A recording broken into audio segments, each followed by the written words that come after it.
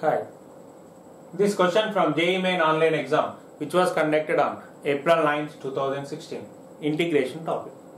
Integral dx by cos cube x square root 2 sin 2x is equal to tan x power a plus c tan x power b plus k where k is integral constant then you have to calculate a plus b plus c.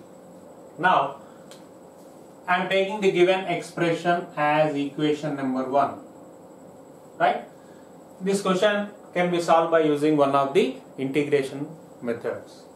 I am taking LHS now. Integral dx by cos cube x square root of what is sin 2x 2 sin x cos x. 2 into 2 4 that is here. 4 sin x cos x.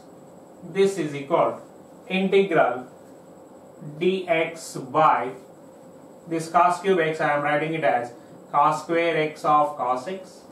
Okay this root 4 is 2 I am writing it outside. That is 1 by 2 why? Because 4 is in denominator.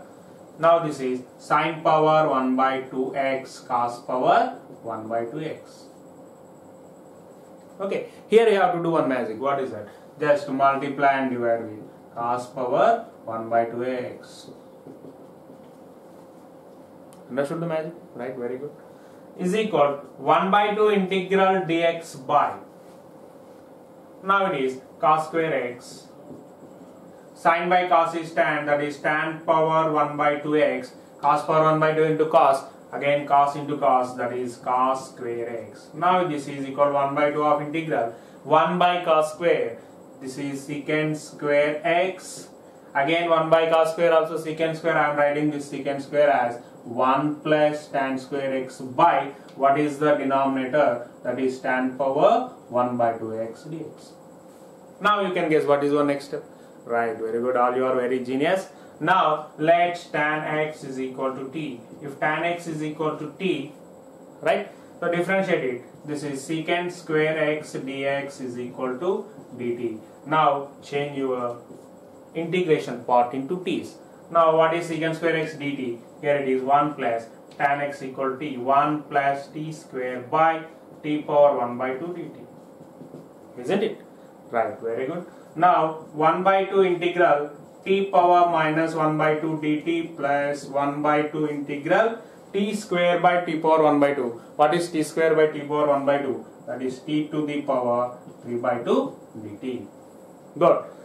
Simple. Now this is equal 1 by 2 of integral t power minus 1 by 2 very good. That is nothing but t power 1 by 2 by 1 by 2 basic formula here integral x power n x power n plus 1 by n plus 1 very good.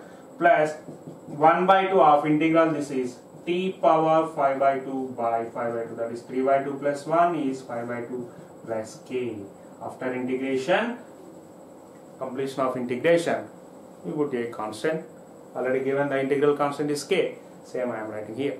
Right? Now this 1 by 2 1 by 2 gets cancelled. Now convert t into tan. Why? Because our assumption is what? Tan x is equal to t. Now your next step is nothing but tan x power 1 by 2 plus this 1 by 2 1 by 2 gets cancelled. Denominator is 5 therefore 1 by 5 of tan power 5 by 2 x plus k.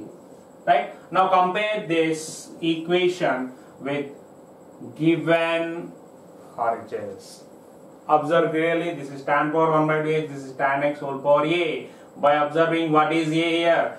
A is equal to 1 by 2 finish now c what is c constant? 1 by 5 c is equal to 1 by 5 now tan power 5 by 2 what is there? B. B is equal to 5 by 2 a is equal to 1 by 2 c is equal to 1 by 5 b is equal to 5 by 2 what is the final value? That is a plus b plus c. If we add these three values you get answer as 16 by 5 right?